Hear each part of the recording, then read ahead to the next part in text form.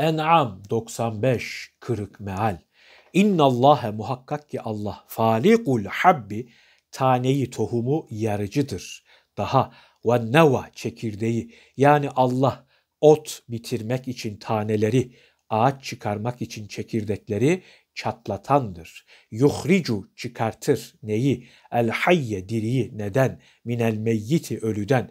Bu cümle ekseri ulemaya göre kendinden evvel geçen innallâhe falikul habbi ve neva cümlesini beyan eden bir cümleyi müstenefedir. Bundan dolayı gerideki cümleye atfedilmemiştir. Çünkü Allah'ın meni, tane ve çekirdek gibi ölü şeylerden canlı varlıkları, otları ve ağaçları yetiştirmesi, tane ve çekirdeği yarmasının açıklamasıdır. Allah daha kimdir?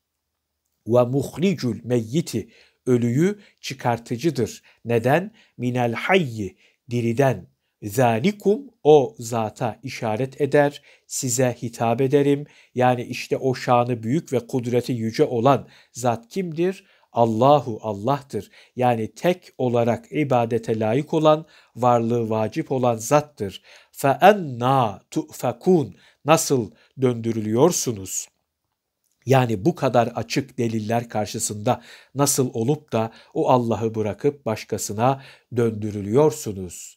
İnna Allahe falikul habbi ve neva yuhricul hayye minel meyyiti ve muhricul meyyiti minel hayyi zalikumullahu fe enna tu'fakun şüphesiz ki Allah ot bitirmek için taneyi, tohumu, ağaç çıkarmak için de çekirdeği yarandır. Ölüden diriyi o çıkarır, diriden de ölüyü çıkarıcıdır. İşte vasıfları size anlatılan o zat Allah'tır. O halde bunca delillere rağmen ona imandan nasıl çevriliyorsunuz?''